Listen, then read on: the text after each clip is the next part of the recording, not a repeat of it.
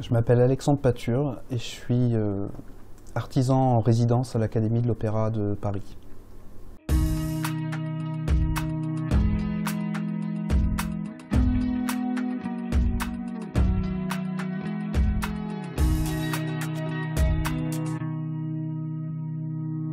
Bonjour et merci de suivre le podcast Les Autres qui vise à proposer une vitrine aux personnes qui exercent une activité professionnelle sans rapport avec leur formation d'origine. Nous sommes aujourd'hui en, compagnie d'Alexandre Pature. Donc Alexandre, euh, je vais te poser la première question de cette interview. Donc euh, qu'est-ce que tu as fait avant? J'ai passé mon bac un bac électronique. D'accord. STI électronique pour être précis. Mhm. Euh, je ne voulais pas en faire mon métier, donc je suis parti en fac de lettres. D'accord. À Tours pendant un an. Dans quelle spécialité dans la fac de lettres modernes. Lettres modernes, d'accord. Donc la faculté des tanneurs, c'est ça C'est la même.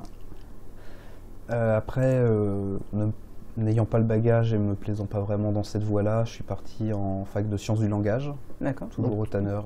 Donc tu switches après le premier semestre ou tu te laisses une première année D'accord, donc après le premier semestre, tu fais une espèce d'équivalence qui te permet de rentrer directement en premier semestre de dans l'autre licence, c'est ça? C'est ça.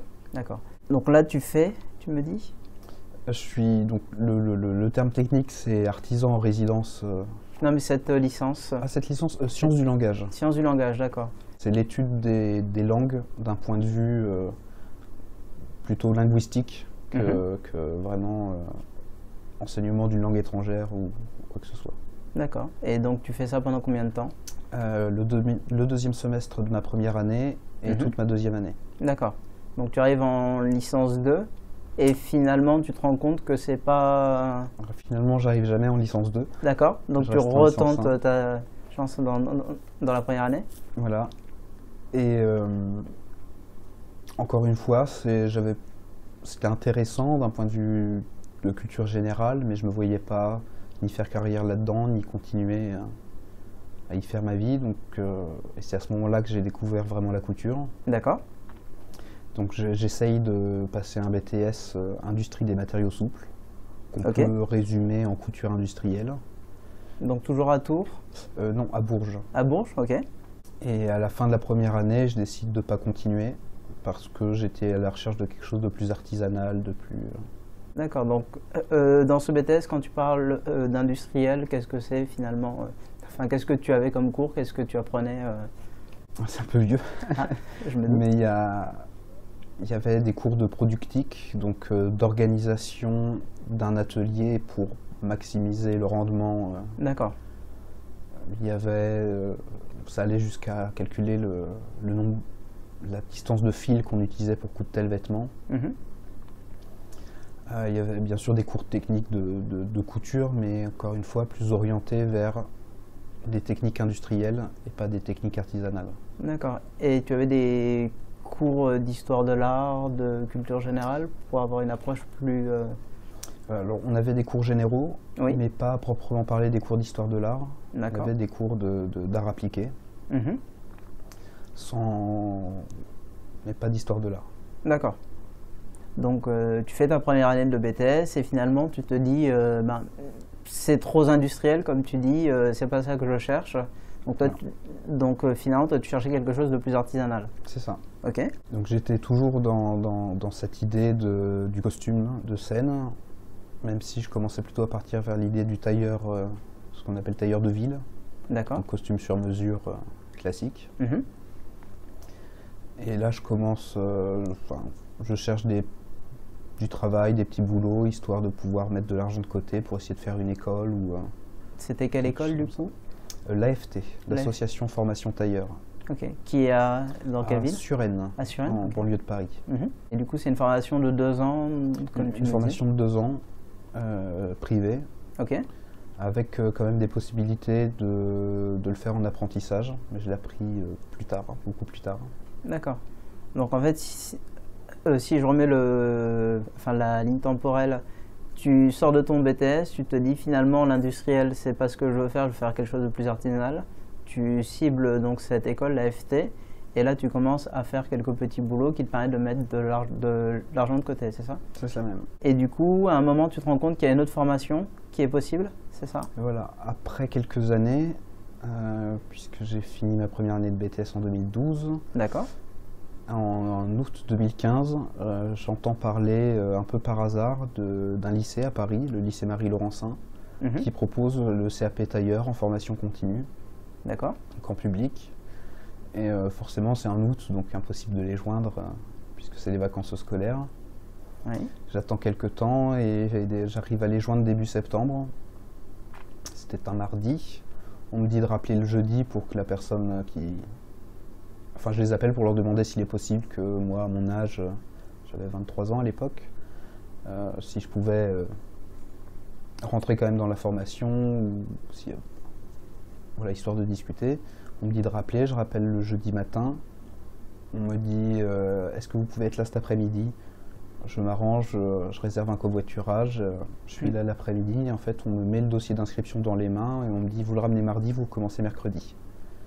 D'accord. Et euh, tu sais qu'est-ce qui a permis euh, d'accélérer les choses? Est-ce qu'ils aimaient bien ton profil? Est-ce que, est que le courant est bien passé bah, le, La personne qui, s'est chargée de, de, ça, qui a un peu insisté pour que je rentre, puisqu'il mhm. a normalement il y avait 12 personnes dans la classe et moi j'étais le 13e, donc euh, il a fait un peu du forcing. Il, m'a dit un peu plus tard que qu'il avait senti quelque chose, que c'était vraiment ce que je voulais faire et euh, il a un peu insisté pour que, pour que je puisse faire cette formation. D'accord. Et du coup, cette formation, euh, tu, peux nous en dire un peu plus? Ça a duré combien de temps? Comment ça s'est passé Alors, c'était en un an. D'accord. Puisque j'avais déjà un bac, donc.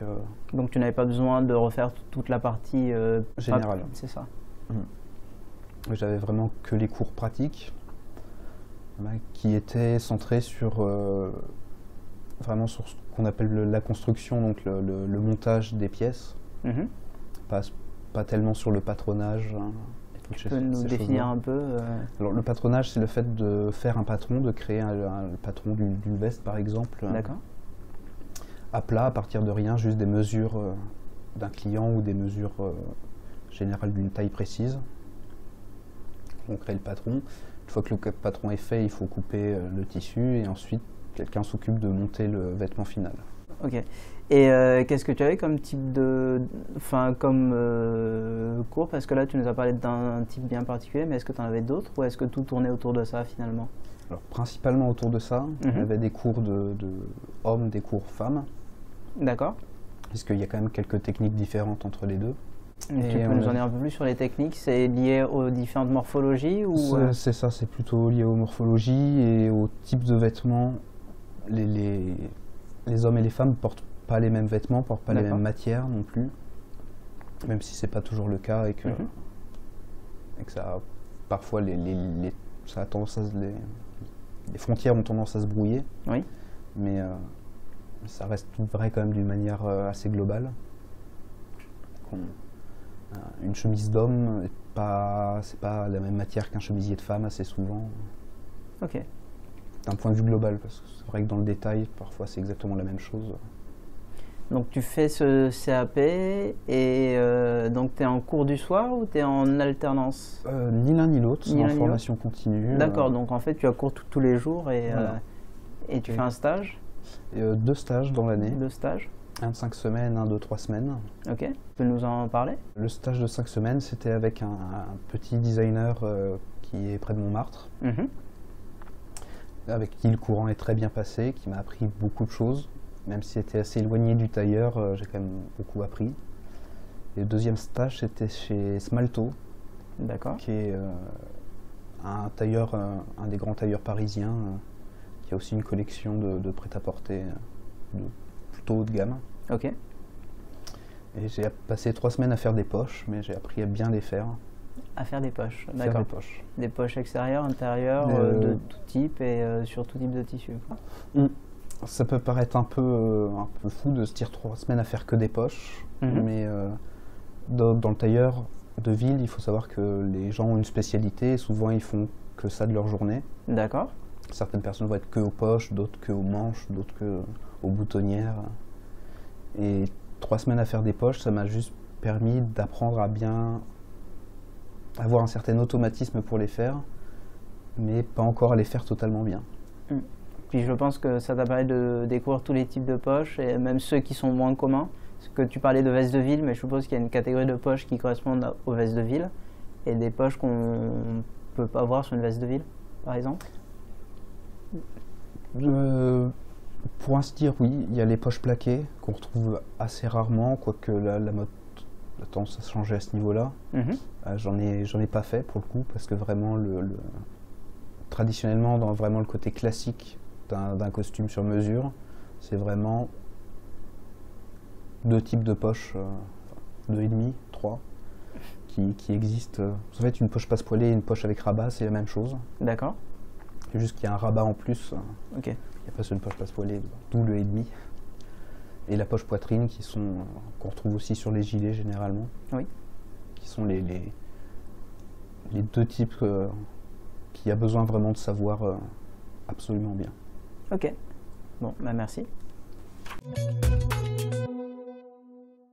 Qu'est-ce que tu fais maintenant? Euh, Donc maintenant, je suis la version longue, c'est artisan, artisan costumier en résidence à l'Opéra de Paris, à mm. l'Académie de l'Opéra de Paris. D'accord. Pour faire simple, je suis apprenti costumier. Ok. Du coup, tu peux nous en dire un peu plus sur euh, ton quotidien, euh, qu'est-ce que tu fais euh, dans la journée, qu'est-ce que tu fais pour préparer les spectacles, par exemple? Si on commence par une journée un peu type. Il n'y a, pas vraiment de journée type, parce que mon boulot principal, c'est de faire le montage de costumes ou les retouches mhm. sur un costume. Donc, quand, quand j'arrive, soit je finis le travail que j'ai commencé la veille, soit je, je, recherche du travail et je demande s'il y, a quelque chose qui, peut être fait. D'accord. Parce que je ne suis pas vraiment attaché à une production, contrairement à, aux, fixes ou aux intermittents qui sont vraiment sur une production en particulier, mhm. à moins d'un besoin extrême de main-d'œuvre sur une production, ne vont pas vraiment changer. J'oscille un petit peu. D'accord. Et du coup, euh, tu, quand tu travailles sur un costume, euh, tu es le seul qui travaille dessus euh, ou c'est un travail collectif, par exemple? Ça, c'est la première question. Et la deuxième question, j'en profite. Est-ce que tu es plus spécialisé sur un type de costume ou vraiment ça varie selon les journées, selon les spectacles? C'est assez variable. généralement, quand on commence un costume, on le termine. Mm-hmm. Ce qui n'est pas toujours le cas, puisque peut se passer plein de choses qui font qu'on ne le termine pas tout à fait et quelqu'un d'autre le termine alors. Mais généralement, on est plutôt sur un. Pour un costume neuf, euh, en fabrication, on le commence donc on le termine. Ça nous permet de le suivre, surtout parce que chacun a un peu ses techniques. D'accord. Même si globalement tout le résultat est le même, euh, des fois il y a des petites, euh, des petites choses qui font que quelqu'un d'autre va pas le terminer de la même manière et qui font que ça va changer. D'accord. En, gros, enfin, pour résumer, euh, dans le détail, ça va pas forcément changer comment le vêtement va se terminer, mais si on a l'habitude de faire une chose d'une certaine manière et que quelqu'un d'autre passe derrière et n'a pas l'habitude de le faire de la même manière, ça peut lui, compliquer un peu la tâche, donc lui faire perdre un peu du temps. D'accord, c'est un peu la patte finalement de chaque couturier euh, mm. qui a sa façon de faire. Et du coup, tu as, une spécialité sur euh, certains costumes ou vraiment euh, toi tu n'es pas spécialisé ou, d'autres le sont? Moi je suis plutôt costume homme. D'accord. Même si j'ai des bases en, costume de femme, euh, je, suis quand même plutôt spécialisé dans le tailleur. Mhm. Même si j'ai encore beaucoup à apprendre, bien sûr. Et j'ai j'ai pas fait beaucoup d'historique. D'accord. Non plus, donc c'est plutôt, plutôt le classique de façon tailleur de ville pour le moment. D'accord. Et du coup, tu nous parles de fabrication de costumes, mais euh, est-ce que tu peux nous en dire un peu plus sur les différentes étapes euh, Vraiment, est-ce que tu pars d'un dessin papier? Est-ce que tu pars. Euh, enfin, comment est-ce que tu choisis le tissu, par exemple? Est-ce que c'est quelque chose d'imposé ou il y a un peu une liberté créative là-dessus? Alors, c'est. ici à l'opéra, c'est très hiérarchisé. Donc, on a. Pour chaque spectacle, il va y avoir un créateur de costumes engagé pour l'occasion. D'accord. Qui va produire des maquettes, qui va choisir avec un, chargé de production les tissus voir s'il faut acheter, fabriquer, choisir vraiment le modèle, les détails. Euh, par exemple, une veste, euh, veste de tailleur classique, euh, en vrai, on peut faire plusieurs types de poches différentes, une infinité de tissus, choisir si à l'intérieur ce sera un entoilage traditionnel ou un entoilage thermocollant. Et c'est le suivi, le chargé de production et le créateur des costumes qui va vraiment mettre au point tout ça, souvent en accord avec le Cooper. Donc le Cooper, c'est lui qui va euh, faire des propositions de prototypes au, créateur des costumes. Et si ça le, prototype est accepté, que ça passe bien en, fabrication, c'est lui qui va faire le patron final, couper le tissu et le donner après à quelqu'un pour le montage. D'accord. Et tu me disais tout à l'heure, le Cooper, c'est le responsable de l'atelier ou euh, ça n'a rien à voir? Euh, Ça n'a rien à voir. D'accord. On a, dans l'atelier même, on a un chef d'atelier, mhm. des seconds d'atelier qui sont coupeurs. D'accord. Avec parfois des intermittents coupeurs qui viennent en plus euh, pour une production particulière. Et les gens à la table, donc les gens qui vont faire le montage. Ok. Donc si je remets les pièces dans l'ordre, le coupeur fait le patron final, coupe les pièces de tissu, et c'est à ce moment-là que toi tu le reçois, donc pour travailler dessus. Voilà. Donc, euh, c'est le coupeur qui va avoir sa petite équipe au sein même de l'atelier, mhm. qui va, euh, à qui on va se référer si on a besoin de savoir euh, exactement comment monter telle ou telle chose. S'il faut que, que la, ça peut arriver, surtout dans le costume de scène, qu'il faut des poches un petit peu exagérées parce que c'est le désir du, du, créateur de costume de faire par exemple des poches beaucoup trop grandes. D'accord. Donc à, c'est à lui qu'on doit se référer pour savoir exactement quelle taille on doit faire, ou, euh, par exemple. D'accord. Et euh, du coup, en moyenne, j'imagine que ça varie, mais euh, tu, passes, tu peux passer combien de temps sur un costume? Ça dépend du costume, oui. bien sûr. Un, pantalon, c'est beaucoup plus rapide à faire qu'une veste complète totalement traditionnelle. Mhm. une veste traditionnelle, Normalement, c'est environ 60 heures de travail. D'accord. Euh, moi, je suis à beaucoup plus que ça. Encore, je suis à 70-80 heures, je pense. Bah, quelque chose comme ça, oui. Ok. Et euh, du coup, dans les éléments, euh, enfin plus, dans les éléments classiques des, différents vêtements, qu'est-ce qui prend le plus de temps? C'est la veste traditionnelle? C'est la veste. Ok. Et c'est beaucoup plus compliqué qu'une chemise, par exemple, euh, même, même s'il y a un jabot sur la chemise ou euh? la... Une veste, il y a beaucoup plus de pièces différentes. D'accord.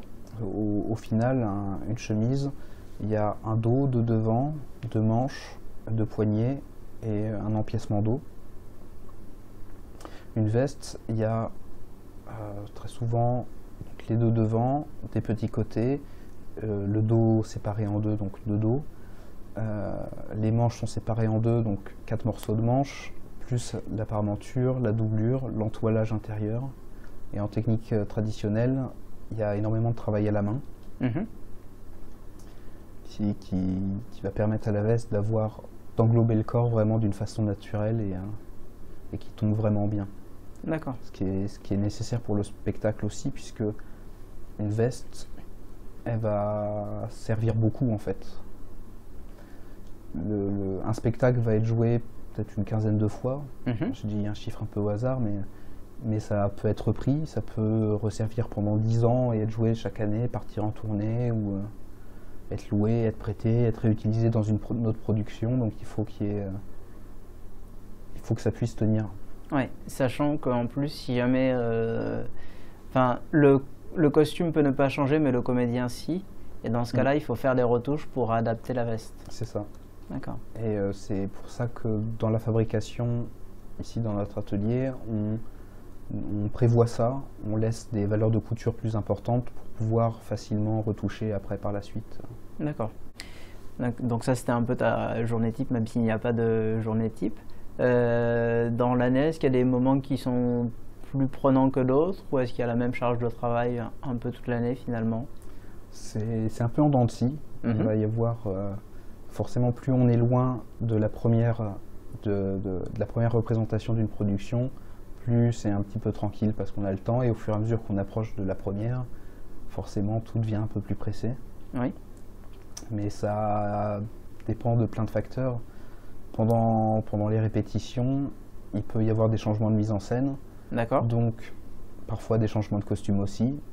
Donc, du travail qui, qui nous arrive un, peu au dernier moment. D'accord.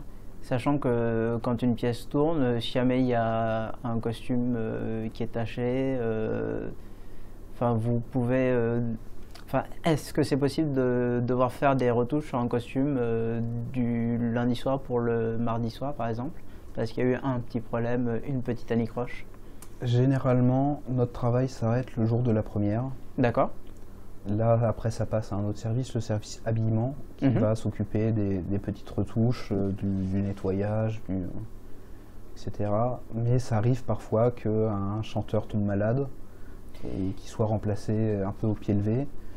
Et ça nous est arrivé, euh, pas très longtemps d'ailleurs, de devoir refaire, euh, refaire un costume euh, ou refaire des retouches ou refaire des réparations. Oui, sachant que c'était tout tombé le même jour d'ailleurs. C'était Il y avait eu des réparations et un nouveau costume à faire le même jour. D'accord. Donc là, c'est un peu le branle-bas de combat dans l'atelier et tout le monde finalement se concentre sur cette pièce-là. C'est possible. Parfois, on ne peut pas séparer le travail. Bien sûr. Du coup, comment ça se passe quand vous avez par exemple des, euh, des costumes sur, le, sur lesquels il y a des bijoux? C'est un travail commun du coup entre les différents services?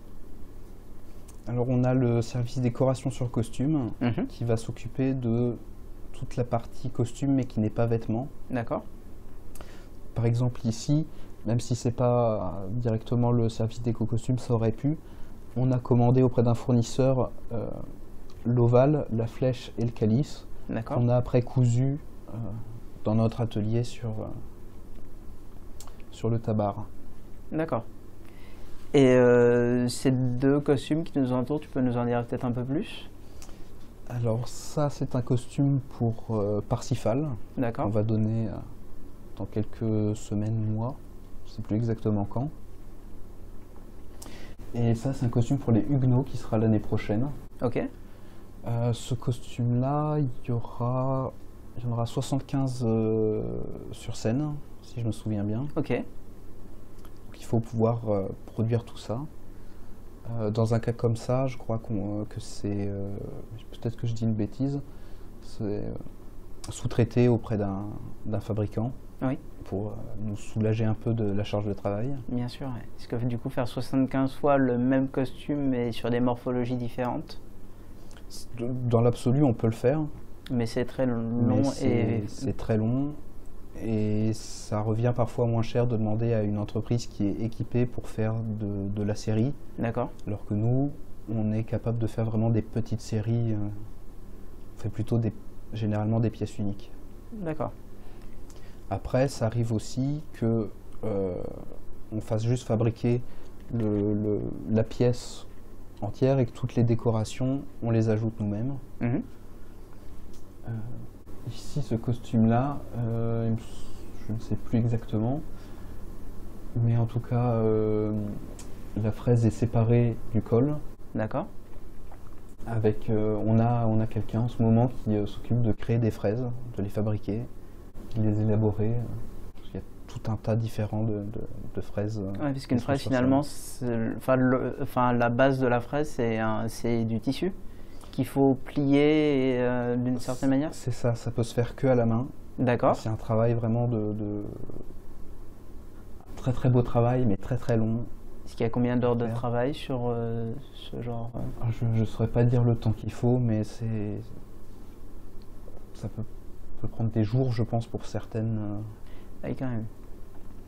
Alors on les fait plus vraiment comme on, comme on les faisait à l'époque, parce qu'aujourd'hui mm. on a des matières nouvelles, euh, synthétiques, qui font que il n'y a plus besoin d'avoir du coton qu'on doit amidonner, qu'on doit presser avec des fers spéciaux. Maintenant on a des, ce qu'on appelle du crin, même mm-hmm. synthétique, qui va naturellement garder la forme qu'on lui donne, ce qui nous sauve beaucoup de temps. D'accord. Et si on, si on parle effectivement de ces nouveaux matériaux qui vous permettent de gagner de temps, euh, est-ce que tu vois un peu l'influence de la technologie sur euh, l'évolution de ton métier?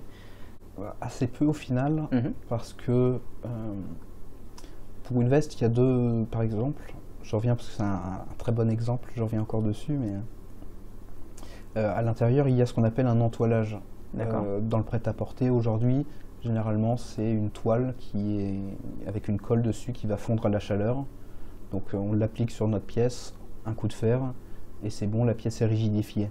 On s'en sert surtout pour les devants, justement pour euh, avoir une bonne tenue, avec quelque chose d'un pas vraiment de rigide, mais qui va épouser le, corps euh, pour, lui donner une, jolie ligne. Mhm.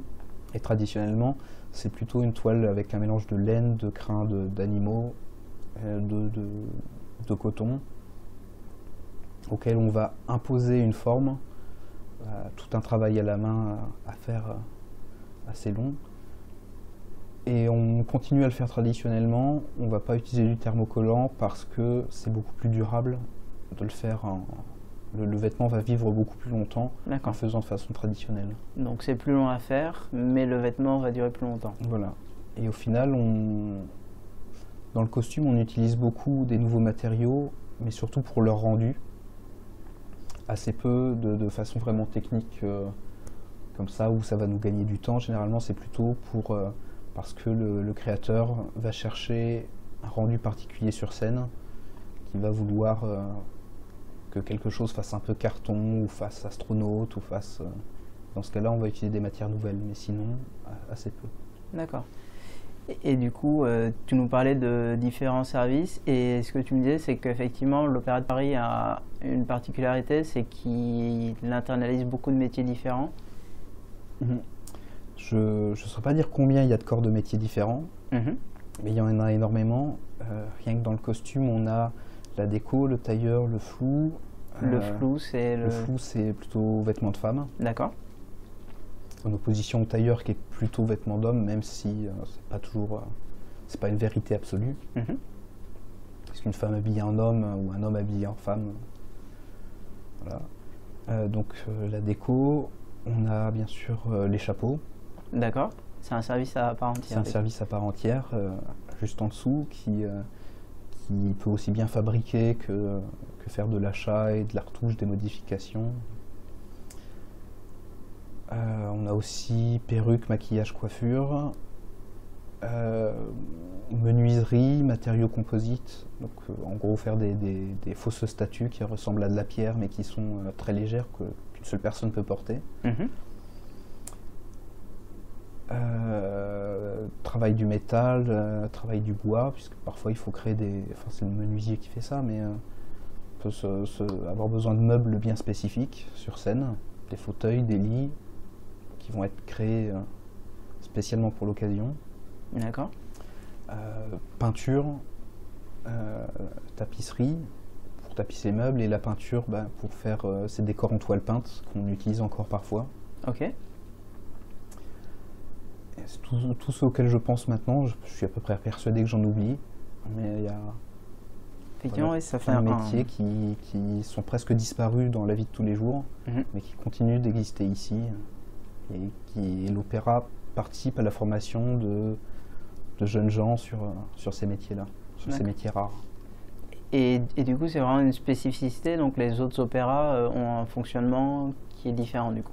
Alors, pas tous. Il y a d'autres salles de spectacle qui continuent à avoir euh, beaucoup de services. Mhm. Mais c'est vrai que ça représente quand même un, investissement financier assez important d'avoir des équipes à l'année.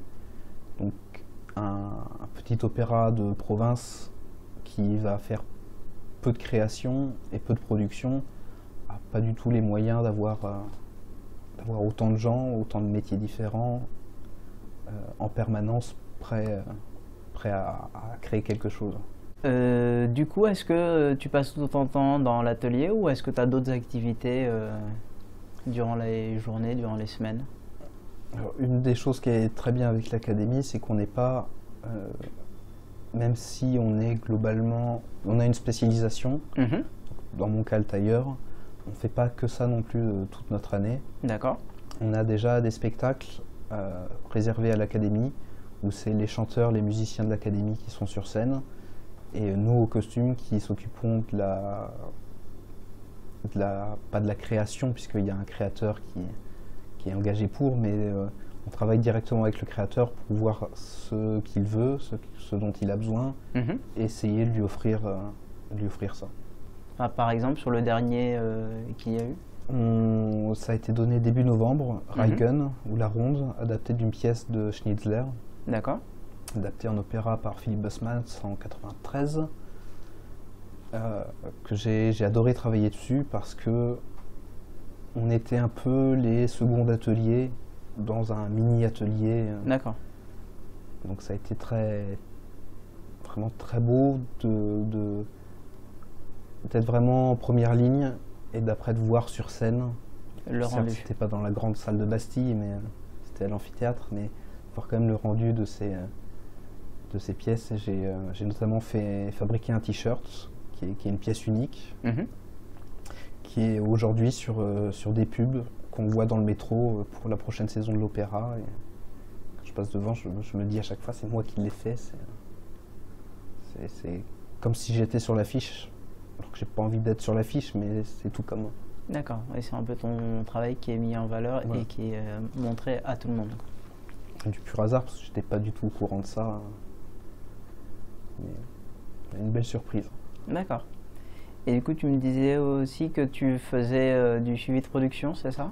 Voilà, sur euh, Don Pasquale. D'accord. Ça consiste en, en quoi du coup et, le, suivi de production, c'est la, personne qui, au sein de l'opéra, va faire le lien entre le créateur des costumes et les ateliers, qui va s'occuper de d'aider le, créateur des costumes à vraiment bien mettre au point ses envies, ses idées, mhm. De voir avec l'atelier si c'est possible de réaliser ce genre de choses. Euh, si jamais il y a des achats à faire, parce que ça arrive assez souvent que certaines pièces, genre des chemises, on va pas s'embêter à les fabriquer, on va directement aller les acheter, et c'est cette, personne-là qui va s'occuper de les acheter, qui va les regarder dans le stock, chercher avec le créateur le costume particulier qui, dont il pourrait avoir envie ou dont il pourrait avoir besoin. D'accord. Et du coup, sur Don Pasquale, qui sera joué Ce sera joué euh, fin mai, début juin plus exactement non plus. Hmm.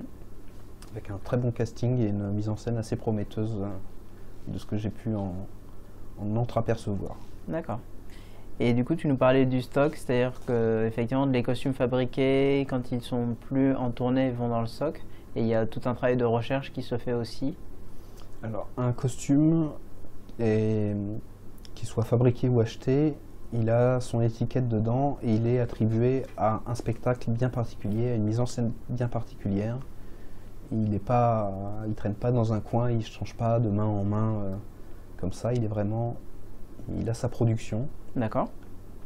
Au bout d'un certain moment, les productions sont déclassées, donc le costume, on va, des personnes qui chargent de ça, qui vont définir si on le garde sous le coude parce qu'il peut resservir pour une une autre production. Mhm. Plus simple exemple, c'est un frac, donc un habit que de euh, 19e. Ça, ça va forcément resservir parce qu'il y, y, en a toujours besoin. D'accord. On en a une collection assez impressionnante. Ah. Donc ça, on va forcément le garder. Après, euh, un tabac comme ça, il y a peu de chances que ça resserve sur autre chose. Donc il, sera gardé quelques temps, puis mis dans un premier stock, qui sont à Paris euh, porte de Clichy. Mhm. Et au bout d'un moment, ils sont mis dans un autre stock qui est en province. D'accord. Et après plusieurs années, quand on sait vraiment que ça va pas servir, ils sont proposés au Centre national du costume de scène. Mhm. Dans certains cas, tous ne sont pas proposés euh, là-bas. Et de, de, temps en temps, il y a des ventes organisées par l'opéra des anciens costumes. On a vu que tu as euh, commencé tes années d'études euh, par des études de lettres, puis des études de sciences, et ensuite tu t'es tourné vers, vers la couture. Mais finalement, qu'est-ce qui t'a fait passer de l'un à l'autre? J'avais toujours. Euh, enfin, j'ai appris à coudre relativement jeune. D'accord. Pas, pas de façon mirobolante, j'étais incapable de me faire un vêtement, mais bricoler, réparer des choses, je savais faire. Et c'est que quand j'étais à la fac que je me cherchais un peu professionnellement, que j'ai eu la chance de rencontrer un acteur qui m'a donné une place pour aller voir Cyrano de Bergerac. Et quand j'ai vu les personnages arriver sur scène, j'ai eu une, sorte d'épiphanie. Je me suis dit, je veux faire ça, je vais être capable de, de, faire ce qu'on voit sur scène, de faire ces vêtements-là qui sont sur scène. Pas forcément des vêtements de tous les jours, mais. Euh, et c'est l'envie est restée pendant des années. Ça m'a pris des années à le faire, mais aujourd'hui, euh, aujourd'hui j'ai réussi. Hmm. D'accord, parce qu'effectivement, ce que tu me disais, c'est euh, entre le moment où tu vois ce, ce spectacle sur scène et le moment où tu finis ton apprentissage, il se passe 5 ans pendant lesquels, effectivement, euh, ah, tu... Plus de 5 ans même, oui. Je... C'était en 2010. D'accord. Je suis allé voir cette pièce. en 2011, je tente mon BTS et je me rends compte que l'industriel, c'est pas ce que je désire. Mhm. Et c'est en 2015 que je commence mon CAP. Pendant ces années, j'ai fait un peu d'hôtellerie, j'ai des petits boulots de, de, commercial euh, dans les magasins, des, des bricoles comme ça. D'accord. Mais, mais tu avais toujours cette envie, ce but euh, qui était euh, de faire la couture mm. pour les costumes de scène. Mm. D'accord. Après, ça, pas que pour le costume de scène, ça, ça a un peu dévié vers le tailleur de ville traditionnel. Mais ça restait dans l'artisanal et quand même dans, un, dans une certaine spécificité du vêtement. Ok. Parce que du coup, effectivement, c'est vrai qu'on en parle, mais il y a plein de spécialités chez les tailleurs, je suppose euh, Plein, pas vraiment, non. Un, tailleur de ville va faire principalement euh, veste, pantalon, gilet, manteau. Mhm. Après, dans le costume, c'est un peu différent parce qu'on se retrouve à faire des pièces. Euh, ici, c'est totalement original parce que c'est inspiré historique, mais avec quand même beaucoup de moderne. On a un, on a un zip, mais en même temps, on a une fraise. Et ça reste l'idée du pourpoint, mais réinventé. Mhm. On se retrouve à faire un, tabac, on peut se retrouver à faire des capes de roi gigantesques. Euh, et le lendemain, on fait une tenue d'astronaute. C'est arrivé. Euh, du coup, ça me donne envie de te demander qu'est-ce que c'est le plus improbable euh, que tu aies l'occasion de voir et de réaliser? La, tenue de, cosmonaute, pour le coup, c'est. Euh, même si j'ai fait assez peu de travail dessus, ça a été assez, assez impressionnant à faire, mhm. à voir, surtout le, résultat sur scène. Ça, ça, valait tous les films de science-fiction du monde. Oui. Je pense que c'est cette chose-là la plus, la plus étonnante que j'ai faite pour le moment. Si je suis euh, ce que tu m'as dit tout à l'heure, donc euh, tu fais ton CAP, tu fais un premier stage de 5 semaines, puis un deuxième stage de 3 semaines, et du coup comment est-ce que tu arrives à l'Opéra de Paris? Alors après mon CAP, j'ai voulu continuer dans cette voie, j'ai cherché un apprentissage pour essayer d'aller plus loin, d'avoir plus de pratique, mhm. parce que bah, en cours on reste dans un milieu quand même très scolaire, je voulais vraiment apprendre, euh, me perfectionner. Donc j'ai postulé auprès de l'Opéra de Paris. Sur un coup de tête sur Est-ce que tu avais vu l'annonce passer Pas du tout, non, juste euh, candidature euh, spontanée. D'accord. En leur expliquant que un peu mon parcours. Mhm. j'ai eu mes entretiens et ils ont décidé de me prendre en apprentissage pour un an. D'accord.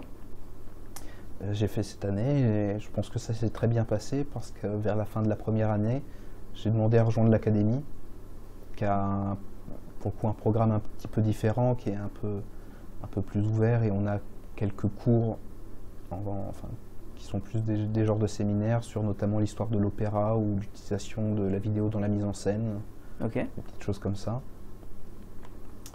Et euh, ils ont accepté que je fasse cette, cette, deuxième année au sein de la, enfin, première année au sein de l'académie, mais cette deuxième année à l'opéra. Ok. Et me voilà là maintenant. Finalement, euh, qu'est-ce que ta formation de base t'apporte? Tout ce qui concerne les lettres, les sciences, euh, est-ce que tu t'en sers encore? Bah, Les lettres, c'est jamais perdu parce que euh, c'est de la culture. Et d'une manière générale, la culture, c'est toujours bon à prendre. Mhm. Après, je pense que ça m'a quand même appris des choses au niveau de l'analyse de texte qui même s'ils me servent pas maintenant, pourront peut-être me servir dans ma carrière plus tard. D'accord. Mais voilà, être capable d'analyser un vêtement aussi, c'est utile de, fois d'imaginer comment la mise en scène va utiliser le vêtement que j'ai dans les mains quand on n'a aucune idée de ce à quoi va ressembler la mise en scène. C'est un jeu qui est assez amusant. D'accord, puisque finalement le vêtement, comme le jeu d'acteur, euh, porte son discours. Et euh, tu as un travail d'analyse dessus qui se fait sur, euh, sur, le, sur le message qui va être véhiculé par telle et telle partie de chaque vêtement, c'est ça? Mhm. bah, je, trouve, c'est peut-être personnel, mais je trouve qu'un costume, ça participe à la personnalité d'un personnage ou d'un groupe de personnages un roi qu'on habillerait euh, en jogging, ça veut dire quelque chose. Même s'il ne ressemble pas à un roi, on peut comprendre par la mise en scène ou par le texte que c'est un roi, mais il est en jogging. Donc ça, c'est pas anodin, ce, genre de choses. J'exagère, je prends forcément un exemple très, très marquant, mais. Euh, D'accord. Mais il y a le, travail en amont du créateur est souvent sous-estimé de toute la recherche qu'il y a derrière, de tout, tout ce que son imaginaire va produire. Au final, c'est qu'un vêtement, mais qui va être chargé de sens. Oui, ça veut dire que finalement, même si l'acteur ne parle pas, même s'il reste très statique, son vêtement et sa posture en disent déjà beaucoup sur euh, qui il est et euh, son attitude. Mmh. D'accord.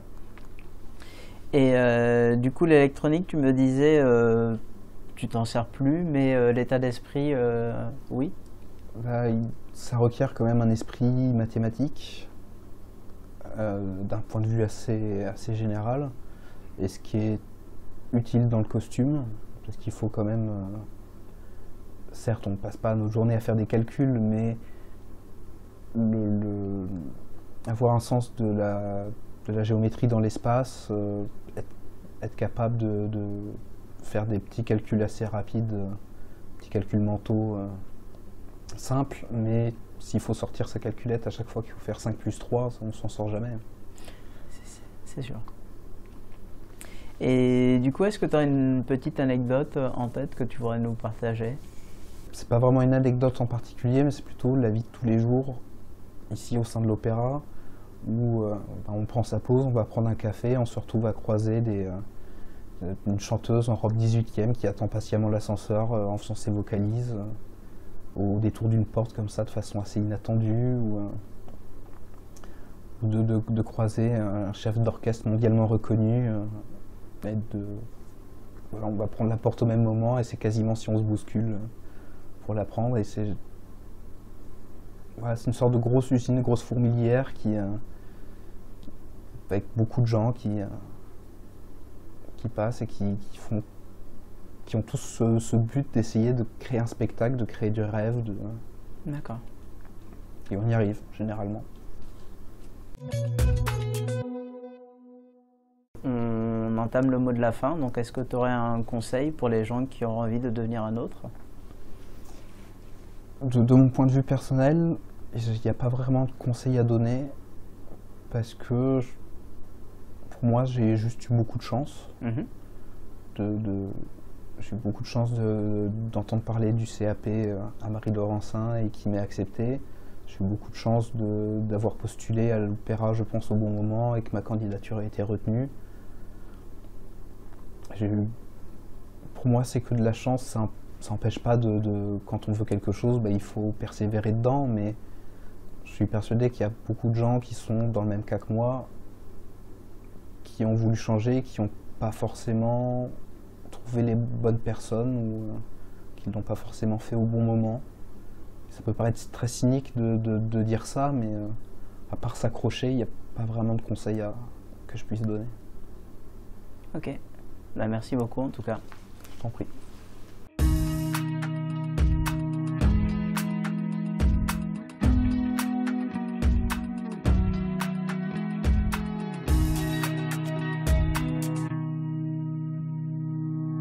Merci à tous d'avoir suivi cette interview. Si cette vidéo vous a plu, n'hésitez pas à mettre un pouce en l'air, à nous soutenir sur Tipeee, à partager, à nous écrire un commentaire. Mais surtout, si vous connaissez des autres, n'hésitez pas à leur en parler et à leur conseiller de nous contacter afin qu'on puisse réaliser leur interview. C'était Patrice et Florent pour les autres. Merci et passez une bonne soirée.